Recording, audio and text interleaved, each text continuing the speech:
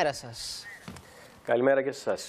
Θα μας πείτε, κύριε Σκουλέ, τι γίνεται με το θέμα της αξιολόγησης. Τι έχουμε μπροστά μας. Έχουμε ένα 48ωρο που θεωρητικά πρέπει να πετύχουμε συμφωνία. Είναι εφικτό να συμβεί κάτι τέτοιο, ή μπορεί να βρεθούμε μπροστά και σε τίποτα τύπου take it or leave it και να μην ξέρουμε τι να πρωτοκάνουμε; Νομίζω ότι είναι αρκετά σημαντική αυτή η τριήμερη παραμονή των πολιτικών πια προσώπων που ηγούνται της διαπραγμάτευσης, της ελληνικής διαπραγματευτικής ομάδας. Προφανώς ε, θα προσπαθήσουν να λύσουν και να προωθήσουν ζητήματα.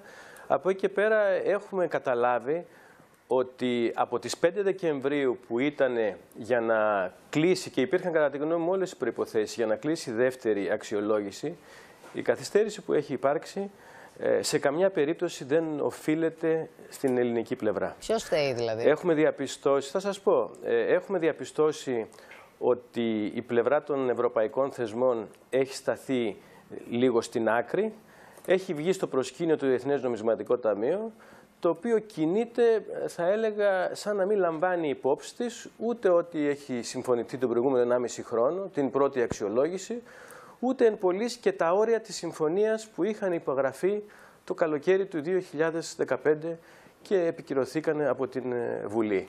Άρα μιλάμε για άλλου είδους σκοπιμότητες. Η Γερμανία ως η μεγαλύτερη ευρωπαϊκή δύναμη δεν θέλει πριν τις δικές της εκλογές να έχει μεγάλα προβλήματα. Από την άλλη βέβαια μετράει και το γεγονός μιας ενδεχόμενης παραμονής ή εν πάση περιπτώσει το τι θα κάνει το Διεθνές Νομισματικό Ταμείο το οποίο θα εξαρτηθεί από παράγοντες που δεν έχουν να κάνουν με το περιεχόμενο Κύριε της συμφωνίας. Κύριε Σκουρλέτη, περιγράφεται ένα, Και- ένα περιβάλλον αδιεξόδου.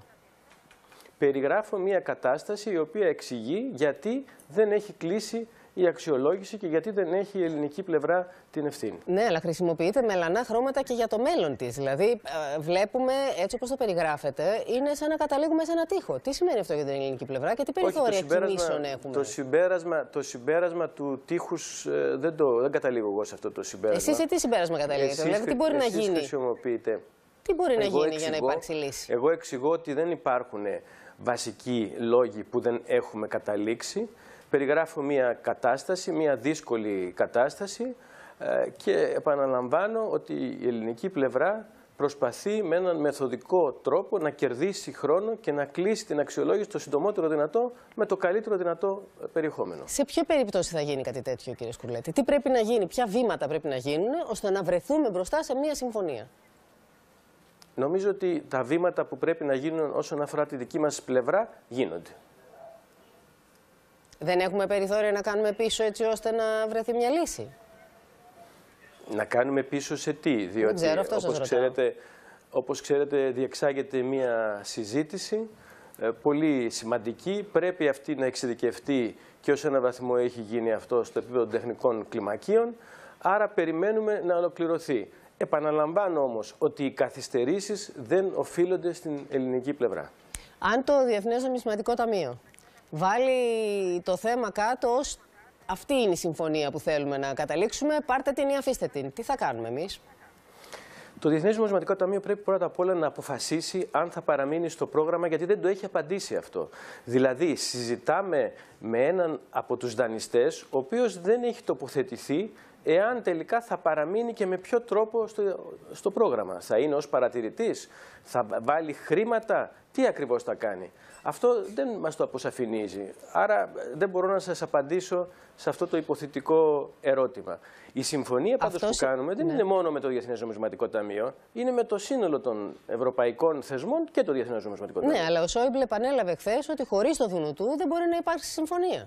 Πρέπει να βρεθεί μια φόρμουλα για το Δουνουτού. Αυτό σημαίνει, κύριε πλευρά- Σκουλέτη, ότι θα φτάσουμε να περιμένουμε τον Απρίλιο και την έκθεση του Δουνουτού και τις τελικές του αποφάσεις, χωρίς συμφωνία μέχρι τότε; Εμείς πρέπει να κάνουμε ό,τι είναι δυνατόν, επαναλαμβάνω, και αυτό κάνουμε, ώστε να κερδίσουμε κάθε μέρα που περνάει, έτσι ώστε να μην είναι χαμένη αυτή. Από εκεί και πέρα ο κύριος Σόιμπλε, επειδή βρίσκεται σε προεκλογική περίοδο, αντιλαμβάνεστε ότι για τους δικούς του λόγους κάνει αυτές τις δηλώσεις, περισσότερο απευθύνεται στην Μάλιστα. γερμανική κοινή γνώμη παρά σε εμάς. Μέσα σε αυτά που πρέπει να κάνουμε για να μην χάνουμε μέρες είναι να αρχίσουμε να πουλάμε και τη ΔΕΗ. Το 40% μέχρι τον Ιούλιο, από ό,τι όλα δείχνουν, κύριε Σκουρλέτη. Εσείς αυτό τι λέτε; Προσέξτε να δείτε. Ε, εδώ ε, θα σας θυμίσω αυτό που σας έλεγα πριν από λίγο. Ότι τίθενται ζητήματα τα οποία είχαν κλείσει στην πρώτη αξιολόγηση. Ε, θα σας θυμίσω ότι επί των ημερών ε, της προηγούμενης ε, περίοδου και όταν ήμουν στο Υπουργείο Ενέργειας είχαν ψηφιστεί δύο νόμοι. Ο ένας ήταν αυτός που καταργούσε τον ψηφισμένο νόμο από την κυβέρνηση Σαμαρά Βενιζέλου για την μικρή ΔΕΗ και ανταυτού προέκρινε ένα άλλο σχήμα έτσι ώστε να υπάρξει η απελευθέρωση της αγοράς, ε, κάποιες άλλες διαδικασίες τις οποίες και ακολουθούμε. Και το άλλο θέμα ήταν η κατάργηση του νόμου για την ιδιωτικοποίηση του ΑΔΜΙΕ και η εφαρμογή του εναλλακτικού σχεδίου το οποίο και ολοκληρώθηκε έτσι ώστε ε, να έχουμε έναν δημόσιο διαχειριστή των δικτύων ηλεκτρικής ενέργειας κάτι το οποίο νομίζω ότι πιστώνεται και στις πολιτικές επιτυχίες της κυβέρνησης. Αν τώρα λοιπόν ε, έρχεται ξαφνικά η πλευρά του Διεθνούς Νομισματικού Ταμείου, η οποία μάλιστα δεν είχε τοποθετηθεί, και αυτό σας το λέω επειδή έχω προσωπική γνώση των τότε συζητήσεων, πάνω σε αυτά τα ζητήματα και θέτει εκ νέου θέματα τα οποία θεωρούσαμε όλοι ότι είχαν κλείσει, κάτι τέτοιο είναι ακατανόητο. Άρα ε, δεν μπορεί να γίνει ε, αποδεκτό. Δεν μπορεί να γίνει, δεν πρέπει να γίνει κατά την άποψή σας δηλαδή; Γιατί ο κύριος Σταθάκης προσπαθεί να το λύσει από χθες. Εκτάκτος πήγε Σταθάκης, ε, είναι ο, ο κατεξοχήν ε, αρμόδιος για να έχει τον πρώτο και τον τελευταίο λόγο από τη στιγμή που διαχειρίζεται στην παρούσα φάση τα ζητήματα αυτά. Αλλά ε, εγώ θα σας πω την γνώμη μου ότι θεωρώ ότι αυτό το σχέδιο δεν βοηθάει σε καμιά περίπτωση ούτε την ΔΕΗ, ούτε την ελληνική οικονομία, ενδεχομένως δε να υποκρύπτει και την εξυπηρέτηση κάποιων συμφερόντων εγχώριων ή ευρωπαϊκών. Και δεν σας κρύβω ότι η δικιά μου εκτίμηση είναι ότι πολλά από τα στελέχη της διαπραγματευτικής ε, ομάδας σε επίπεδο τεχνικών κλιμακίων περίπου προωθούν ε, τέτοιου είδους συμφέροντα και δεν κινούνται μέσα στο πλαίσιο μιας συμφωνίας ε, όπως αυτή διατυπώθηκε και συμφωνήθηκε το καλοκαίρι του 2015. Ε, υποθετικά μιλώντας, αν ο κύριος Σταθάκης τώρα το κλείσει το θέμα αυτό της ΔΕΗ και αρχίζει να το τρέχει, δηλαδή καταλήξει σε μια συμφωνία και αρχίζει να το τρέχει και δούμε ένα πολύτε κομμάτι της ΔΕΗ. Εσείς τι στάση θα κρατήσετε κύριε Σκουρλέτης αυτό; Μπορεί να είσαστε η εσωκομματική αντιπολίτευση και να σταθείτε απέναντι στην ίδια σας, στη, στο ίδιο σας το κόμμα και την κυβέρνηση. Δύο, δύο παρατηρήσεις. Ε, πρώτα απ' όλα έχω εμπιστοσύνη στις ε, διαπραγματευτικές ικανότητες και στις απόψεις του Γιώργου του Σταθάκη, με τον οποίο είμαστε σε απευθείας ε, συνεννόηση, επικοινωνία και ιδιαίτερα σε μια πρώτη φάση, ε, ό,τι μου ζητήθηκε εκ μέρους του, ε, του το παρήχα ως ε, βοήθεια. Το δεύτερο είναι ότι δεν αποδέχομαι αυτά τα δημοσιογραφικά σχήματα περί εσωκομματικής αντιπολίτευσης ή μπλοκ των οποίων, τα οποία διαμορφώνονται εντός του ε, ΣΥΡΙΖΑ. Είναι τελείως διαφορετικό το να υπάρχουν διαφορετικές ε, οπτικές για διάφορα ζητήματα, να διατυπώνονται και ερωτήματα και δημόσια καμιά φορά, ε, προβληματισμοί, αλλά η αντίληψη περί αντιπολίτευσης και συμπολίτευσης εντός της κυβέρνησης και του ΣΥΡΙΖΑ είναι μια αντίληψη ξένη προς εμάς. Δεν ασκείτε δηλαδή προσωπική πολιτική, όπως κάποιοι λένε για σας; Με προσβάλλετε. Ποτέ δεν άσκησα προσωπική πολιτική. Κύριε Σκοδλέτη, να σας ρωτήσω αν μένετε στη θέση σας για 180 στη Βουλή σε περίπτωση συμφωνίας. και να, σας, και να προσθέσω σε αυτό, και να προσθέσω σε αυτό, αν νομίζετε ότι έχετε αρχίσει να συγκλίνετε με το Σόιμπλε. Γιατί και αυτός λέει για υπερψήφιση των μέτρων με τέτοιου ναι. είδους. Θα σας πω. Ε, πρώτα απ' όλα, σε σχέση με το δεύτερο σκέλος του ερωτήματός σας, Εμένα μου θυμίζει εκείνο το μάθημα που κάναμε παλιά. Φαντάζομαι ότι ίσως και εσείς να το έχετε προλάβει, παρόλο ότι μάλλον είστε νεότεροι από μένα στο σχολείο. Θα το δεχτώ αυτό, κύριε Σκουκλέτη, και θα το δω και με συμπάθεια. Ναι. Το μάθημα της λογικής, όπου έλεγε ότι το μπουζούκι είναι όργανο, ο αστυνομικός είναι όργανο, άρα ο αστυνομικός είναι μπουζούκι.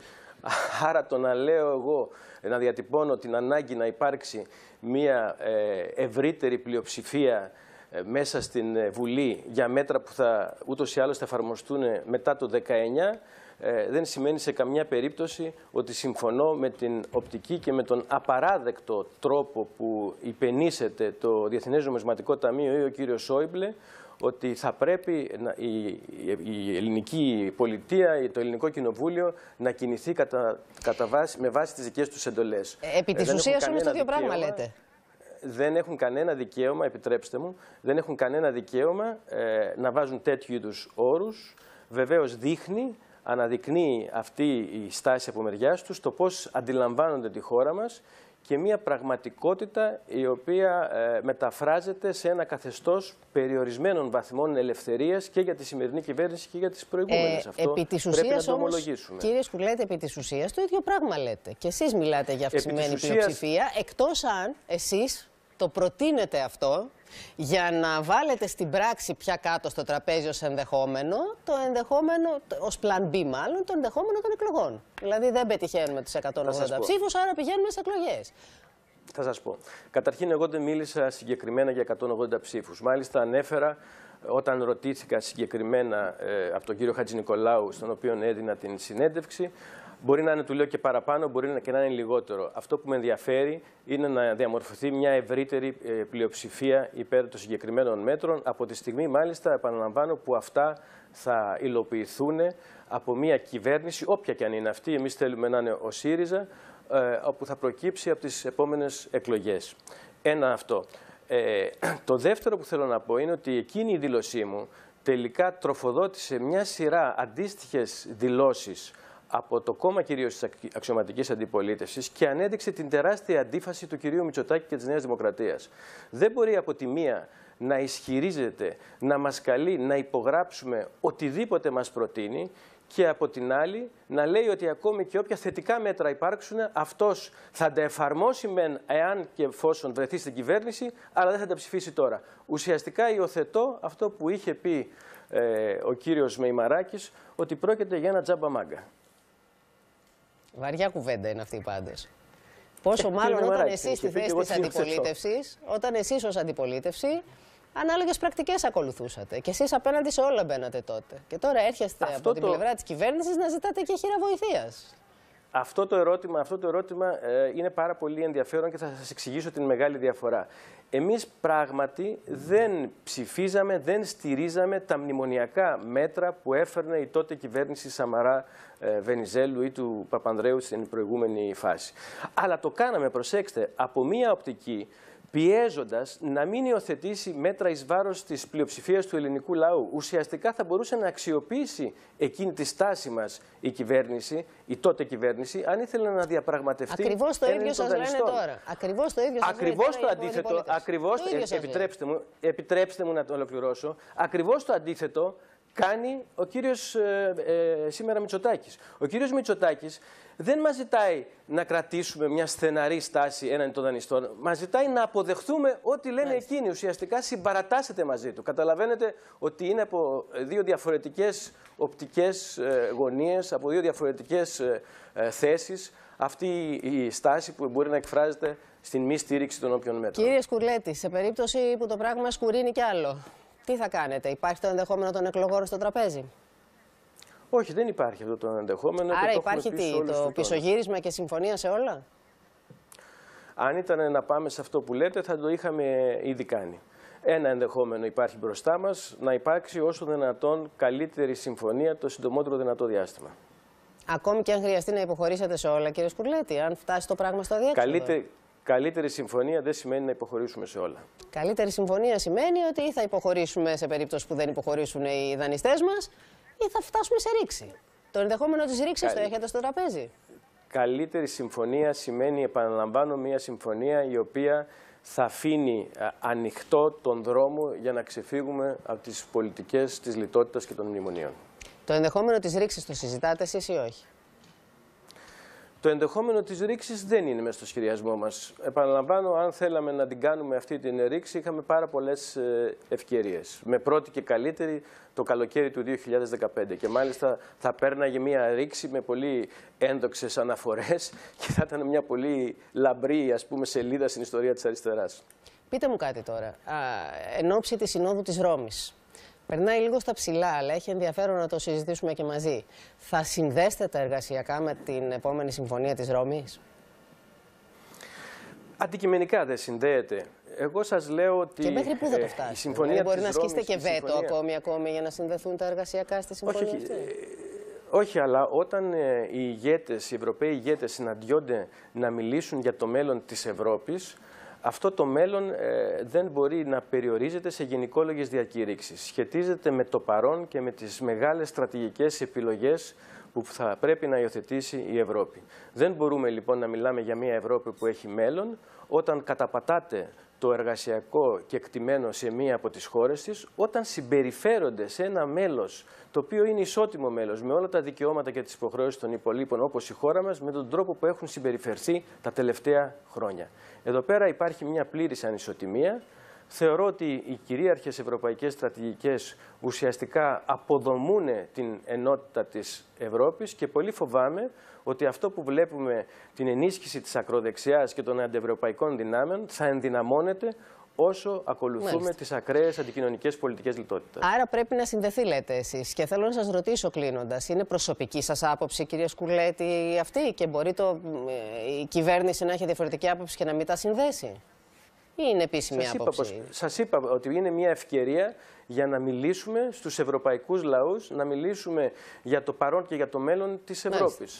Πότε- Αλλιώς θα ήταν μια επαιτειακού χαρακτήρα συνάντηση χωρίς κανένα περιεχόμενο. Ένα, ένα τελευταίο για να κλείσουμε και να πάμε σε διαφημίσεις εμείς. Ε, πότε νομίζετε ότι είναι το, το ως εδώ και μη παρέκει για επίτευξη συμφωνίας. Δηλαδή τε- δεν θα το ξαναπώ ορόσημο γιατί έχουμε περάσει πάρα πολλά. Τα βάζετε στην κυβέρνηση και τα ε, ξεπερνάτε μόνοι σας. Αλλά μέχρι πότε έχουμε αντοχή να πηγαίνουμε τη διαπραγμάτευση αυτή πριν πάρουμε τις τελικές μας αποφάσεις, όποιες και αν είναι αυτές; Αντοχές έχουμε, ε, εμπιστοσύνη στις δυνάμεις μας Μέχρι πότε; έχουμε και νομίζω, και νομίζω ότι θα πετύχουμε την καλύτερη ε, δυνατή Μέχρι πότε; συμφωνία. Μπορεί να πάει Σεπτέμβρη, νομίζετε; Δεν έχει, δεν έχει καμιά σημασία ε, να βάζουμε τέτοιου είδους ορόσημα όπως λέτε εσείς. Σημασία έχει να πετύχουμε το καλύτερο δυνατό αποτέλεσμα. Μπορεί να φτάσει και Σεπτέμβρης; Και το, καλύτερο, και το καλύτερο δυνατό αποτέλεσμα είναι η συνάρτηση δύο πραγμάτων. Και του χρόνου επίτευξης της συμφωνίας, αλλά και του περιεχομένου. Μπορεί να φτάσει και Σεπτέμβρης; Το, απευχο... το απευχόμαστε και εργαζόμαστε για ακριβώς το αντίθετο. Εδώ μιλάμε για συμφωνία μέσα στον επόμενο μήνα. Πολύ ευχαριστώ κύριε Σκουλέτη που ήσασταν κοντά μας. Να είστε καλά. Να είστε καλά. Διάλειμμα τρέχοντας για